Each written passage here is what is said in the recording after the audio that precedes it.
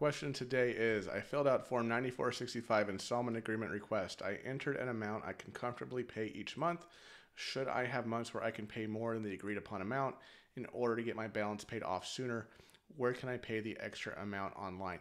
Answer to this question is yes, you can make payments above and beyond your installment agreement payment every month or whenever you want, really. Doing so will reduce the penalties and interest that accrue on your account because even when you're in installment agreement status, penalties and interest still continue to accrue. My team at Choice Tax Relief, we're generally able to cut that future penalty accrual in half. Instead of the half a percent a month failure to pay penalty, we can generally get that cut to uh, a quarter percent a month failure to pay penalty for installment uh, for installment agreements we negotiate on behalf of our clients uh, saving them some money in the long run. But if you really want to save on penalties and interest, yes, you can you can make payments early, uh, and because the interest is compounded daily, you know it, it, it will save you money in the long run, assuming assuming this is a full payment installment agreement.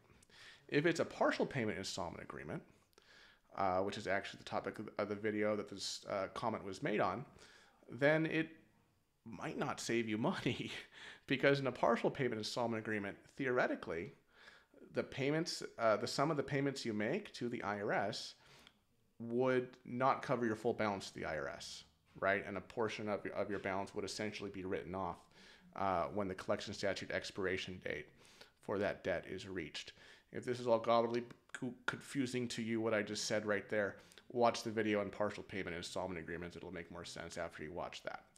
Um, so that was the first question. Second question, where can I pay the extra amount online? Let me show you right now.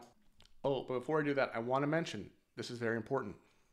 Let's say your installment agreement to the IRS is $100 a month, okay? If you pay $200 this month to the IRS, you still have to pay the $100 next month to them, okay? Just to be completely clear. So um, keep that in mind right? Some people think, oh, okay, I'm going to prepay the, you know, this month and next month I'm going to pay them $200 now. No, that's not how it works. Even if you prepay some amount, you still have to make the agreed upon monthly uh, payment to them, uh, whether or not you, you, paid some extra amount previously. All right, now let's go uh, to irs.gov slash payments. This is where you can make payments online to the IRS. There are uh, a few ways you can pay. Um, you can pay with uh, credit card, or debit card. Um, you do have to use like a third party payment processing platform that does charge a fee. You just go to one of these of your choice, click, and then you can you know do make a uh, click the option, make a personal payment or make a business payment. Um, yeah, so there that's an option if you want to pay by card. You will be charged a fee if you want to pay by uh, direct pay, which is from your bank account uh, for which there's no fee charged, at least on the uh, the recipient's end. Um, then you can scroll down here, go to make a payment. Uh, you can select a reason. Uh, you can do uh, well, yeah, payment plan or installment agreement. Uh, apply payment to you know income tax. let's say your it's for tax year 2020. Continue, and then it'll ask you for some verification questions here, so you can make the payment. Um, you can also write a check uh, to the IRS. Matter of fact, you can pay by cash too, I believe. Oh, oh, down here, other ways you can pay. Uh, look, same day wire, check or money order, cash. You can do EFT along with the return, but you know, wire, you, get to pay a fee for a wire transfer, you know, to your bank, so that's not very common. Uh, pay by check or money order. There's instructions here uh, at this um, URL. Uh, make sure you read those instructions.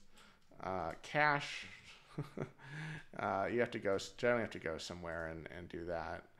Uh, then EFT is if you could, you know, put your, your uh, banking information along with your tax return, it'll suck the money out. Um, all right, so yes, you, in summary, you can uh, pay your IRS balance off early. You can make additional payments in addition to your installment agreement payment that will reduce your penalty and interest accrual Uh, however, if you're in an installment agreement, you still have to make your agreed upon monthly payment every month, regardless of how much you prepaid in the past. Unless you pay off the full balance, of course, in which case there's nothing left to pay. Uh, all right, folks, thanks so much for watching this video. If you want more information about IRS installment agreements, I have my video about the partial payment installment agreement here on the upper left-hand corner of the screen, and my video about IRS installment agreements in general here at the bottom left-hand corner. Uh, if you want to reach out to a tax professional about your tax situation, visit us, choicetaxrelief.com. Give us a call, 866-8000-TAX. Thanks so much, everybody. I'll see you in the next video. Bye-bye.